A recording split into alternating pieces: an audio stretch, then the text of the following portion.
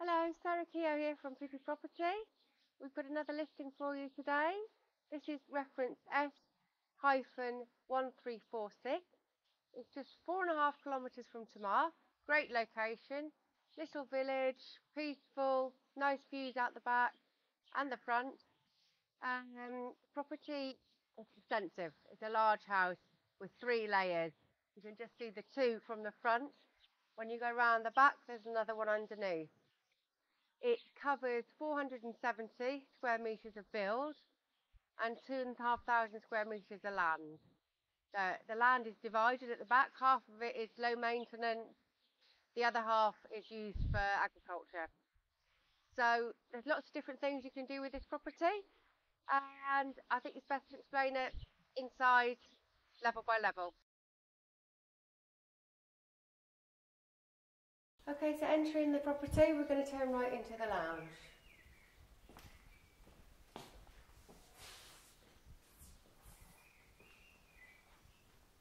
As you can see, this is a large lounge dining room area and there's a circular layout and we go from here into the kitchen.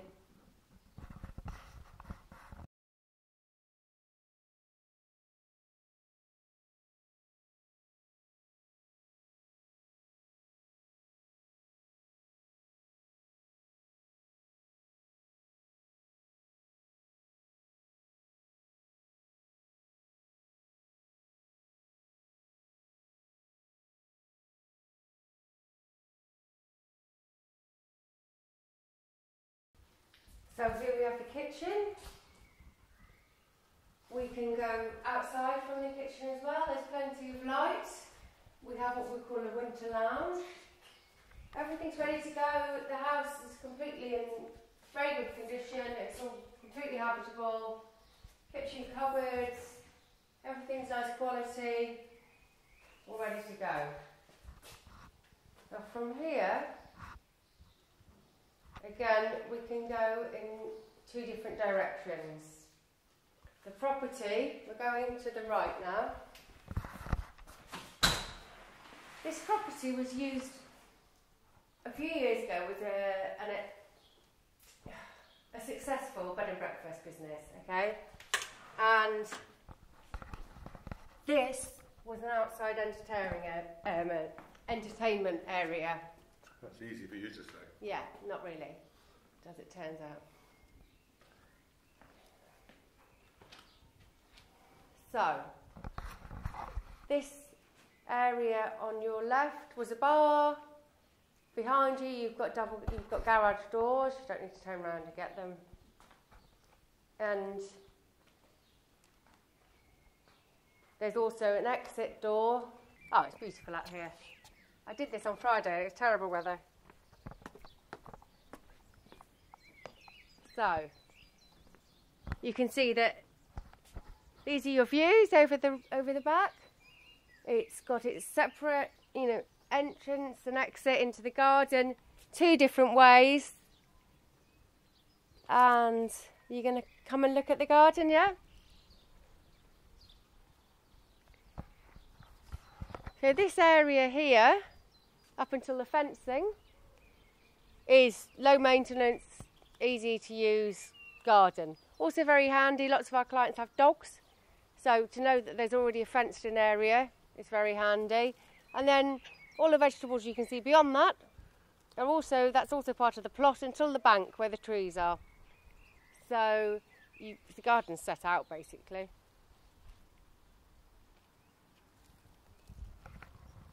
Okay, so leaving the kitchen in the other direction, you come to a snug. We call it a snug, lovely winter lounge. So we've got the wood burning fire here, so this would be incredibly warm.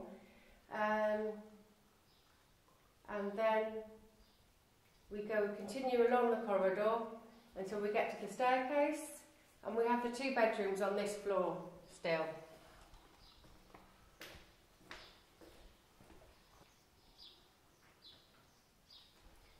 Just so you can orientate yourself, the front door's there. We've done a loop. And here we have, obviously there's bathroom there, shower on your left, storage cupboard behind the door there. And a double bedroom.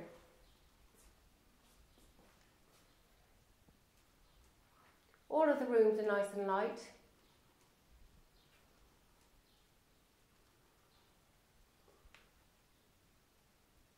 So this is the second ensuite double bedroom. This, as you come through the first front door, this is the first on the left. The room we've just been into is the second on the left. Now, this is a good sized room, double bed, cupboards and a chair. Then we've got, this side is wardrobe, and this side leads you into, to have lost the light switch, into a shower bathroom.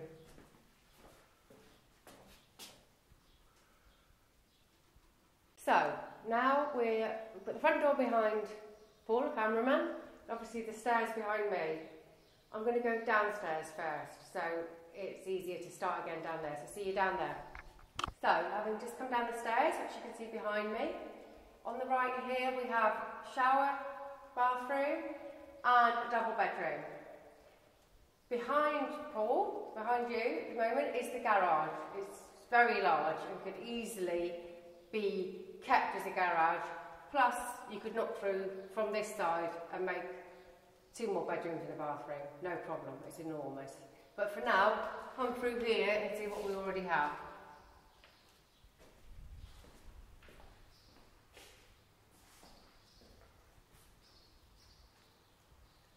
So this is the lounge. We have the exterior entrance on the right hand side, obviously access to the garden.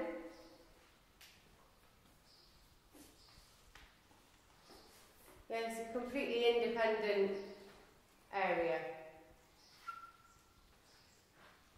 The views of the garden, lovely, easy access.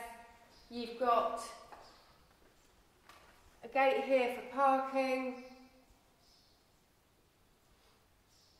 and access to the garden. Paul and I have been discussing the different things you can do with this property, and as usual, we don't agree. But um, either of these rooms here, you could easily put doors through. This, of course, is the kitchen. And here, I'm assuming it was meant to be a fireplace or a range for cooking on. One way or another, that must be a chimney stack. Extractor, yeah. Extractor It's completely usable and was lived in as it is. Completely habitable, nice space. Yeah.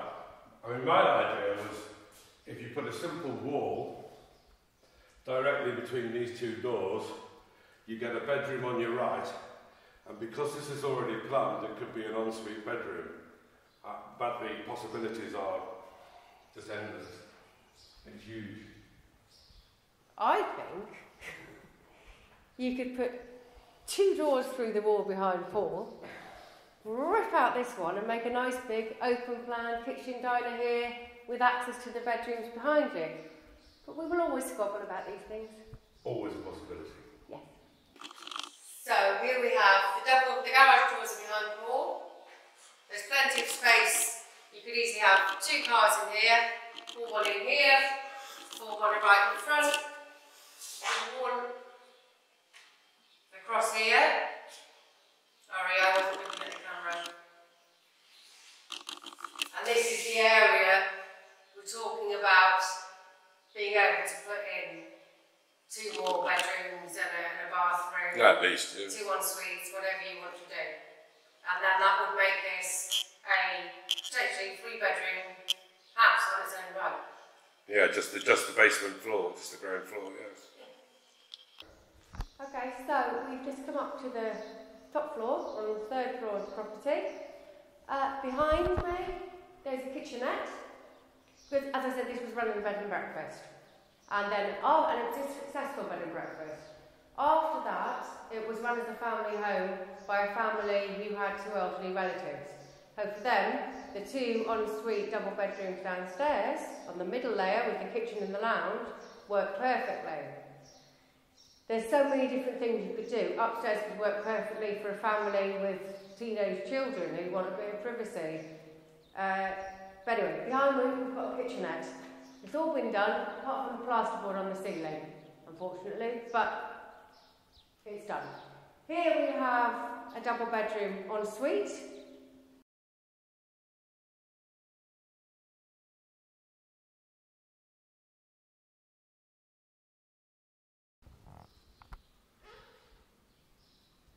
So, again, a double bedroom, ensuite bathroom with shower unit.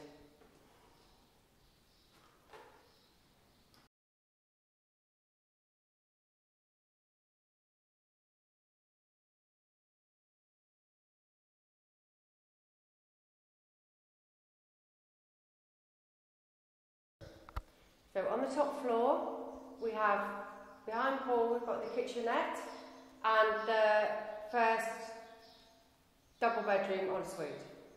Then we have this open space that you can see here, and there's a bathroom behind that wall. So there was an idea that you could, again, in line with the bed and breakfast, you could put a wall across here, and you'd have a third double ensuite bedroom up here with access to the balcony. As it stands, and as I say, there's an existing bathroom there. If you come to me, you have the other ensuite bedroom. There's a wardrobe here and storage which goes under the eaves, which is so storage space. Coming through here, the bathroom and a nice light room here.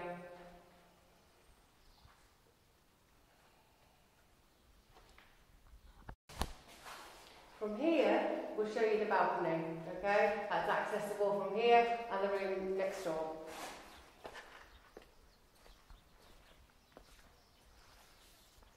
Beautiful views. Watch your head. So as I said, five, four and a half kilometres from Tomar. It took me six minutes to get here the other day from Intermarché. Very quiet location, peaceful, but incredibly close to the town, which is part of the reason why it was such a successful bed and breakfast. This bird song is absolutely lovely. At the front of the property, there's this fenced area, which again, if you've got dogs, great area for keeping the animals in. If not, it's just very pleasant to have a front garden. And as Paul pans to the right, you will see the shaded area before the front door. So they're the lounge windows inside there. So it always keeps cool in there. Very nice That's a porch. It's a front porch. Front porch. They've gone out of fashion, but they should come back. So here we are in the back garden. This is the area that's been done as low maintenance. You could put a above ground pool here, and it's fenced, ready to go, nice and easy to look after. The pepper tree, You've got fruit trees. I think you've got a lemon lime grafted tree. Behind me, where we've got the fence, beyond the fence is the horta, vegetable patch. Okay? That's actually currently looked after by a neighbour. There's a deal between the owners of this property and the neighbour that she cares for the ground and gives over some veg. Okay, and if Paul turns round, he'll give you a picture of the rear of the property.